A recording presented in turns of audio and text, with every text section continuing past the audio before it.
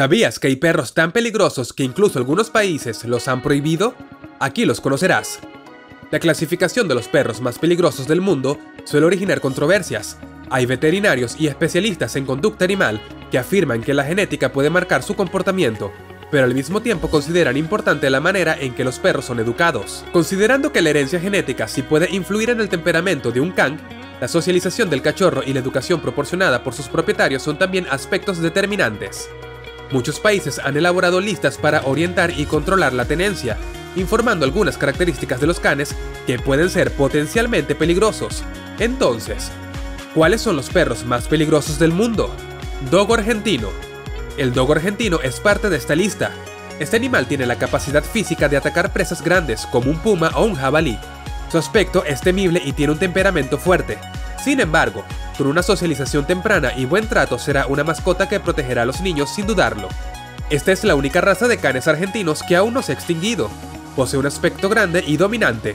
Los auténticos dogos argentinos son blancos, con ojeras muy oscuras. En la antigüedad fueron usados como perros de pelea. Ahora se ha ido domesticando con el paso del tiempo. Ten en cuenta que si llega a pelear con un perro en la calle, será muy difícil de que se dé por vencido.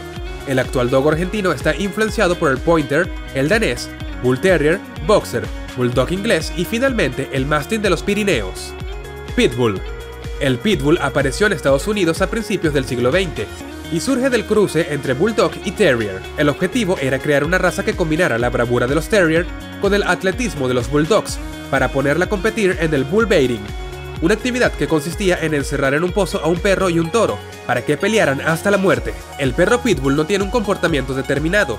La educación y el adiestramiento que reciba influirá totalmente en su etapa adulta, ya sea con un temperamento amigable, reservado o reactivo. La Facultad de Medicina de la Universidad Estatal de Ohio y el Centro Médico Wexner han realizado un estudio con la finalidad de detectar las razas de perro y los rasgos físicos que tienen estos canes con mayor riesgo de atacar y de provocar lesiones graves a los niños. Según el análisis de resultados del estudio, los perros de la raza Pitbull son los más propensos a morder. No obstante, otras investigaciones afirman que cuando son educados y socializados desde cachorros, pueden llevarse muy bien con los niños y convivir pacíficamente con otros animales. Staffordshire Bull Terrier. El Staffordshire Bull Terrier es un perro de carácter activo, con mucha energía. Es, además, un perro de talla media, pelo corto y muy musculoso. Aunque es un perro robusto y de gran fuerza para su talla, también es un perro ágil y activo, por lo que es necesario que haga ejercicio diario. También conocido como Staff, está estrechamente relacionado con el Pitbull, Asimismo, al igual que muchos otros terriers del tipo Bull, como el Staffordshire Bull Terrier o Staffy y el Bull Terrier inglés, están entre los perros más peligrosos del mundo. Algunas de estas razas fueron creadas para participar en peleas de perros, lo que ha contribuido para su actual mala fama, según expertos animales. Esta raza es poderosa y compleja, así que lo que tiene que ofrecer depende del propietario, sus habilidades no tienen límites, insuperable fuerza, deseo de complacer ilimitado, un animal ideal para la actividad y el trabajo. Aún así, este perro completamente adiestrado y educado es un buen compañero con la familia y los amigos, y tiene una habilidad añadida como guardián.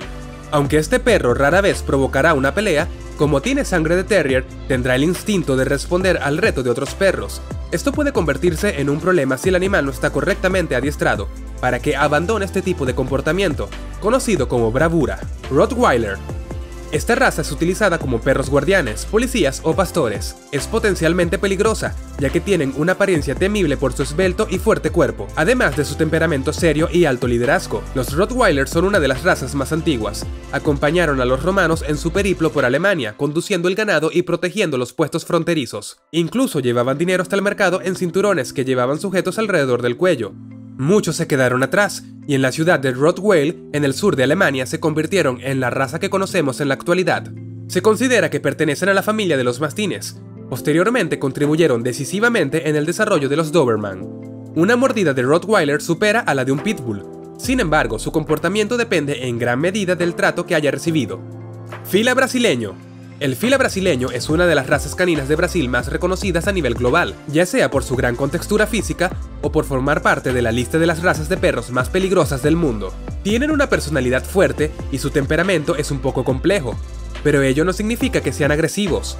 No se debe confundir un problema de comportamiento como lo es la agresividad con un rasgo de la personalidad de un perro. En su núcleo familiar, el fila brasileño es un perro afectuoso, con una gran paciencia en el trato con los niños. Pero en la presencia de extraños, estos peludos se muestran desconfiados por su fuerte instinto territorial y protector de su familia. Es una raza canina recomendable solo para dueños experimentados y que cuenten con el tiempo y la paciencia para darles una óptima educación. American Staffordshire Terrier aunque su origen es inglés, el American Staffordshire Terrier llegó a los Estados Unidos a mediados del siglo XIX para participar en peleas de perros debido a su gran fuerza física y valentía. También se utilizaban como perros guardianes para granjas. La raza fue reconocida en 1971 por la FCI. La raza fue reconocida en 1971 por la FCI, Federación Sinológica Internacional. En España pertenece a los perros potencialmente peligrosos, PPP, cuya tenencia está prohibida o vinculada a condiciones especiales. Su aspecto es imponente, con una altura de entre 43 y 48 centímetros y hasta 23 kilos de peso. Posee una cabeza ancha, pelo corto y brillante y gran musculatura. A pesar de su fama, suelen ser perros con un vínculo muy fuerte con la familia, en especial con los niños. Tienen una gran variedad de movimientos y posee una salud muy robusta. Su esperanza de vida es de unos 12 años y requiere unos cuidados sencillos. Tosa Inu es un perro que proviene de Japón, como cruce entre perros de combate provenientes del país nipón y mastines importados, como el gran danés, bulldog y bull terrier. Su origen está en el siglo XIX como perro de lucha. En la actualidad está considerado como un perro de compañía en su país de origen, aunque está prohibido en algunos países. Es de tamaño grande y peso muy elevado, con un aspecto muy robusto, de cráneo y mandíbulas anchas, ojos pequeños y de color castaño oscuro. Sus patas delanteras y traseras son muy fuertes, y su pelaje puede ser de colores rojo, leonado, albaricoque, negro y atigrado. Se aconseja su crianza en el campo, aunque dentro del hogar suele ser un perro tranquilo, siempre teniendo en cuenta que es un perro considerado potencialmente peligroso. Su origen también está en Japón, y se cree que se remonta a hace más de 5.000 años de historia, puesto que genéticamente son muy cercanos a los lobos. Se solían emplear para la caza de osos y animales salvajes, así como perro guardián y de trabajo. Debido a su afán protector, su envergadura y musculatura y su instinto cazador, debe recibir un entrenamiento adecuado para poder convivir con personas.